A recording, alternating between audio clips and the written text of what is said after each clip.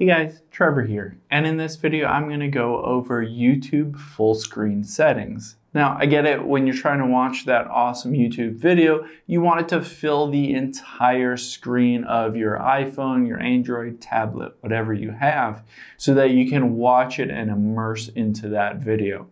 Now, let's open up YouTube and I'm going to walk you through some settings so that you can maximize the viewing. So let's tap on the profile icon at the top right and then towards the bottom there, it says settings. I'm going to tap on that. And then I'm going to tap on general, the second option. Now you can see a key setting here is zoom to fill screen. I'm going to toggle that on and what that will do is it will zoom in so that that video fills my entire device's screen. Especially if you have a device that doesn't have a 16 by 9 aspect ratio.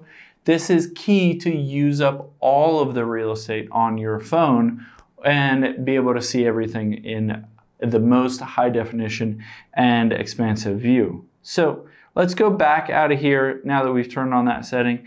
And I'm just gonna go into one of these random videos, try to find one without an ad right up front. These all probably have ads right up front. Here's one without an ad up front. So I'm gonna go on here and I can always tap that little square on the bottom right of the video and it will bring up the full screen of this.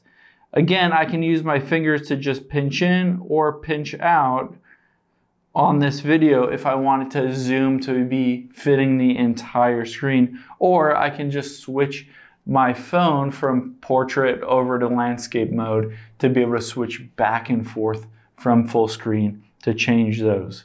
Now, if you go in here and you tap the settings icon at the top right here, I would recommend going over to quality and maybe having auto or higher picture quality because if you are in full screen settings, then you might want the highest resolution so that you can see everything in really crisp detail. Of course, this means you have to have good internet connection for it to load that full high resolution video.